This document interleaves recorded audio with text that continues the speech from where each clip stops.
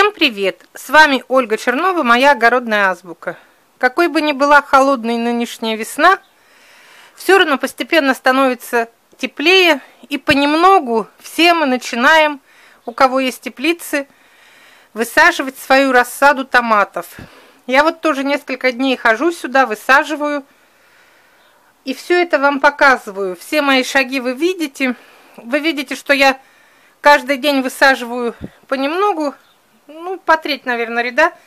Конечно, если бы у меня были помощники, можно было, если вот выйти всей семьей, можно было посадить всю эту теплицу в один день.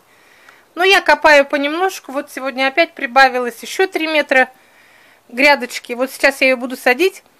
Но сегодня я хочу напомнить тем, кто, возможно, ни разу еще не выращивал томаты в теплице, или есть у нас даже такие, которые вообще томаты не выращивали. Хочу вам напомнить, это очень важно. Соблюдайте принцип ступенчатости при посадках томатов. Они очень солнцелюбивые, и если вы высадите на первый план высокорослые томаты, они притенят следующий ряд, и получится очень плохой урожай. Сейчас я вам расскажу, как я высаживаю. У меня вот первого ряда еще нет, я его буду потом сейчас высаживать, завтра, наверное. Но высаживать я буду так. Вот этот первый ряд, это у меня южная сторона и солнце всегда отсюда, весь день почти. В первом ряду я сажу самые низкорослые томаты. Это будет вот демидов, различные могут быть там и гномы, и ну, все, которые низкорослые. Вот демидов 45-50. Второй ряд я высаживаю уже те, которые чуть выше.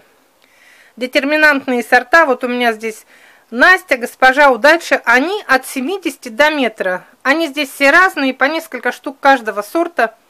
Основная масса будет на улице, а здесь вот так немного для поддержания сортов. Вот здесь от 70 до метра. Третий ряд тоже детерминантный у меня будет. Но он не будет, он уже немножко есть. Здесь уже я позволю себе посадить от метра до метра двадцати. И самый последний ряд, вот этот, будут у меня томаты-гиганты, у которых в характеристиках написано 2 метра. Почему я их сажу на самый последний ряд? Потому что они вот сейчас эту сторону всю затянут до самого-самого потолка. И уже, если бы они были впереди, то после них, кто был бы там сзади, за ними, никакого солнца они бы не получили. А здесь получается так, что сначала маленькие, следующие чуть выше, потом чуть выше, и потом уже совсем большие.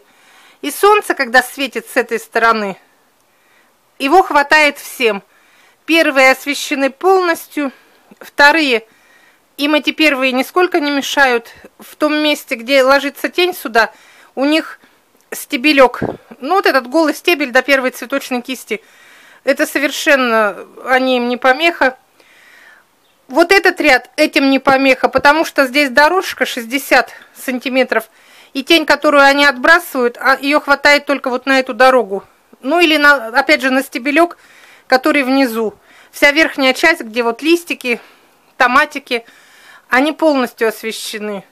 Ну и, конечно, вот последний ряд высокорослые, им уже ничего, никто не мешает. Они очень высокие, им хватает всегда солнца, они вот сейчас вот так вот до сюда, до сюда, 2 метра, ну вы представляете, как 2 метра.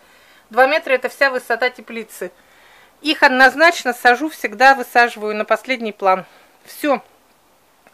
Видео это короткое, я надеюсь, вы мою мысль поняли. Вот по такой же схеме я высаживаю и в огороде в открытом грунте. То есть высаживать томаты нужно обязательно в соответствии со сторонами света, то есть найдите, где у вас юг, а где у вас север.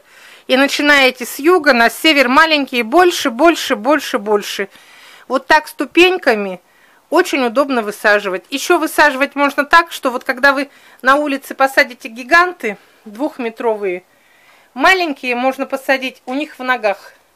То есть вот прям при, перед высокорослыми, ну на улице я потом отдельно буду объяснять, сейчас не буду удлинять видео, высокие, а перед высокими вот малыши, которые 20-30 сантиметров, потому что у них кисть плодовая завязывается после 9, 10, 11, 12 листа, то есть эти 30-40 сантиметров, вот этот ствол, там солнце совершенно не нужно. Солнце нужно листьям, и вот в ногах у великанов можно выращивать карликов. Все, вот это было видео о ступенчатости посадки. Особенно это нужно соблюдать в теплице, потому что здесь мы все компактно у нас. Тут сильно большого расстояния, как на улице, не сделаешь. На улице можно и метр было вот это вот сделать. Здесь у нас все компактно, поэтому малыши средние, повыше и великаны. И тогда всем им будет очень комфортно жить. Они друг другу не будут мешать и дадут нам хороший результат. До свидания. С вами была Ольга Чернова о ступенчатости посадки томатов в теплице.